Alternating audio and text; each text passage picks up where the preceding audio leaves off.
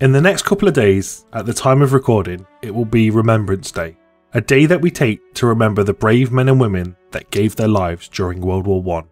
The Great War ended hostilities at the 11th hour of the 11th day of the 11th month, concluding one of the bloodiest wars in history, where around 16 million people, soldiers and civilians alike, were killed. The war began upon the assassination of the Archduke Franz Ferdinand, heir to the Austro Hungarian Empire.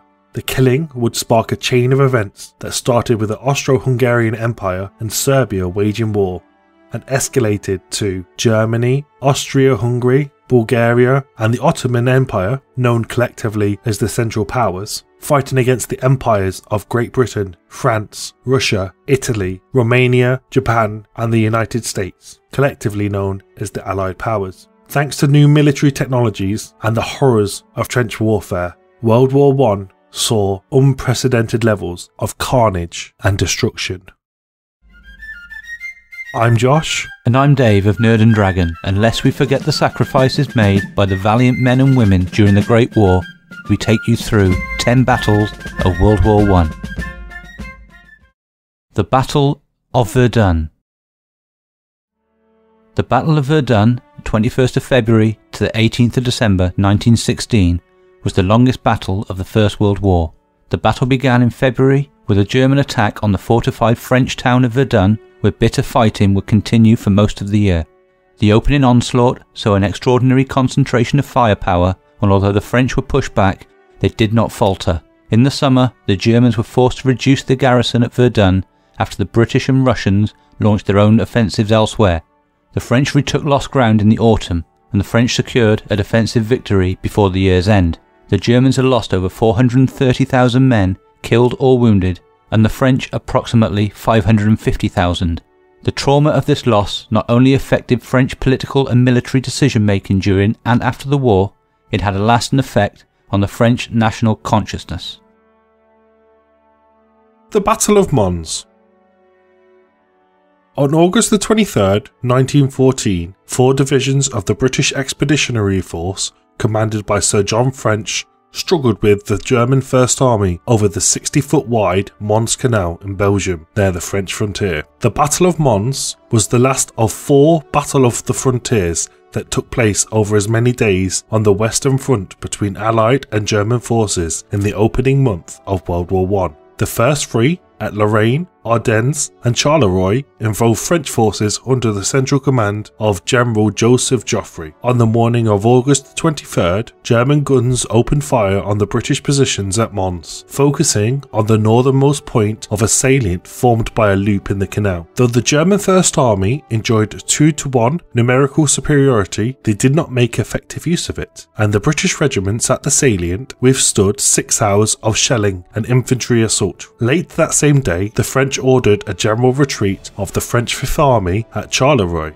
This left the British Expeditionary Force in danger of envelopment by the Germans, and a decision was made to withdraw the troops as soon as possible. By the time the battle ended, after nine hours, some 35,000 British soldiers had been involved, with a total of 1,600 casualties.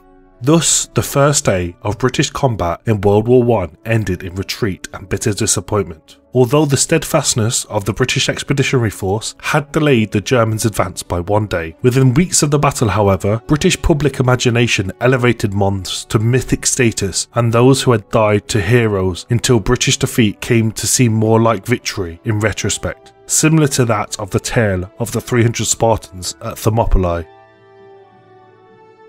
The Third Battle of Ypres, Passchendaele.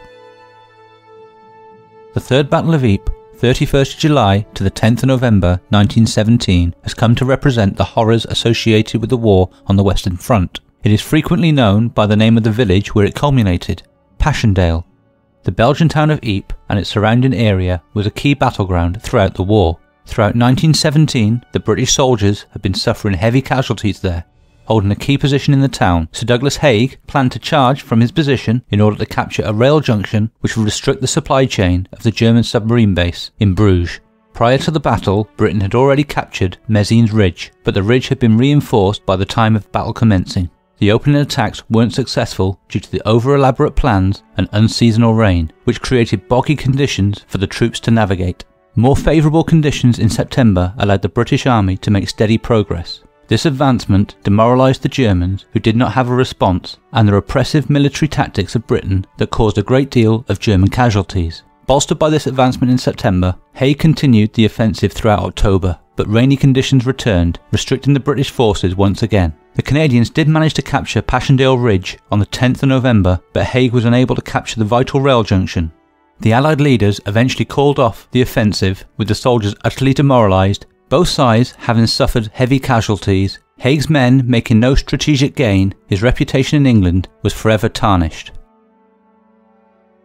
The Battle of Jutland.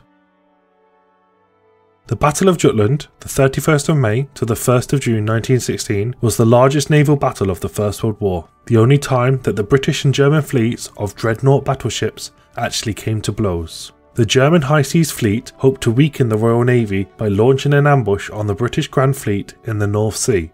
However, the British were warned by their codebreakers and put both forces to sea early. Jutland was a confused and bloody battle involving 250 ships and around 100,000 men. Initial encounters between Admiral Sir David Beatty's battlecruiser force and the High Seas Fleet resulted in a loss of several ships. The Germans damaged Beatty's flagship HMS Lion and HMS Queen Mary, both of which blew up when German shells penetrated their ammunition magazines. Beatty withdrew until Sir John Jellicoe's Grand Fleet arrived. The Germans, now outgunned, turned for home. The battle confirmed British naval dominance and secured its control of shipping lanes, allowing Britain to implement the blockade that would contribute to the German defeat in 1918. The Battle of Amiens. The Battle of Amiens, 8th to the 11th of August 1918, signalled the start of the Hundred Days Campaign a four month period of successes for the Allied forces. Having survived the German spring offensives, Allied forces launched a counterattack of their own, which resulted in them constantly being on the advance from the summer of 1918. Learning from the experiences throughout the war, the Allies had developed both technology and operational tactics, such as flexible infantry firepower and tanks, which allowed the forces to continue to press the Germans. These discoveries would be the blueprint for future military endeavours. The Battle of Amiens opened on the 8th of August with a surprise attack and the British forces gaining 7 miles on the first day. Implementing their learning from previous offensives, Britain knew when to stop advancing, and after four days of conflict, Britain withdrew and launched another offensive elsewhere. This would become the recipe for success, forcing the increasingly exhausted Germans back. The Battle of the Somme. The Battle of the Somme 1st of July to the 18th of November 1916 was a combined operation between British and French forces designed to achieve a crucial victory over the Germans on the Western Front. For many in Britain, the resulting battle remains the most infamous and fatal episode of the First World War. In December 1915, Allied commanders had met to discuss strategies for the upcoming year and agreed to launch a joint French and British attack in the region of the River Somme in the summer of 1916. Intense German pressure on the French at Verdun throughout 1916 made action on the Somme increasingly urgent and meant the British would take on the main role in the offensive. They were confronted with German defences that had been meticulously laid out over many months of preparation. Despite a seven day barrage prior to the attack on the 1st of July, the British did not achieve the quick advance their leadership had planned for and the Somme became a deadlocked battle of attrition. Over the next 141 days, the British advanced a maximum of 7 miles. More than 1 million men from all sides were killed, wounded, or captured. British casualties on the first day, numbering over 57,000, of which 19,240 were killed, make it the bloodiest day in British military history. The Allied offensive at the Somme was a strategic obligation fought to meet the needs of an international alliance. This battle is often remembered nowadays to remind of the futility of war. British commanders learned difficult but important lessons on the Somme that would contribute to the eventual Allied victory in 1918. The Battle of Megiddo The Battle of Megiddo, 19th to the 25th of September 1918, marked the start of the final British-led assault in the Sinai and Palestine campaign.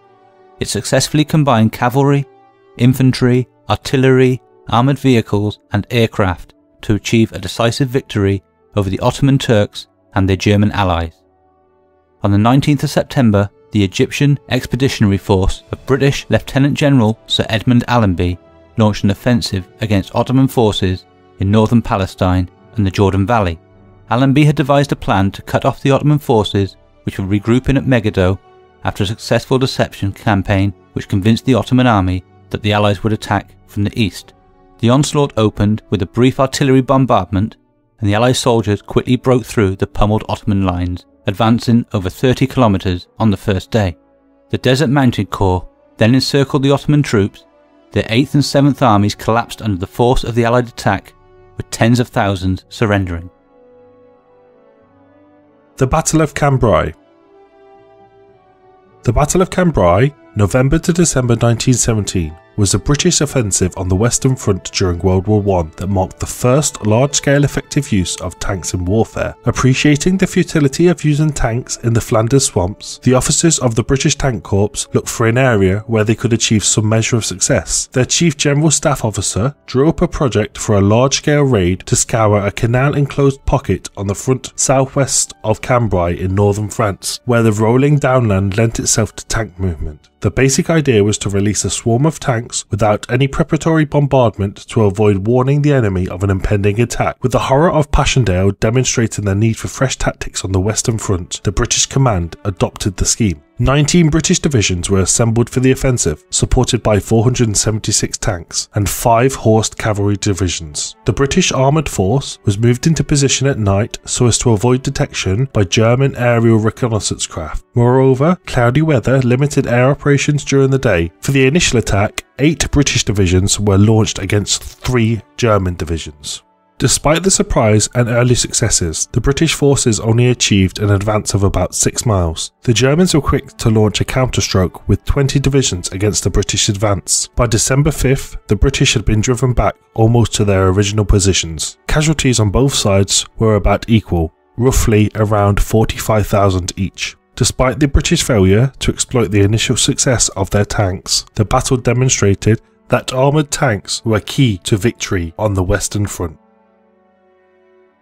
The First Battle of the Marne. At the beginning of the First World War, Germany hoped to avoid fighting on two fronts by eliminating France prior to battling Russia.